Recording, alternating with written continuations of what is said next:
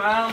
Yo, man! Du, jeg pantsatte jakka mi, og så Og så Ja, jeg glemte buksa i jakka.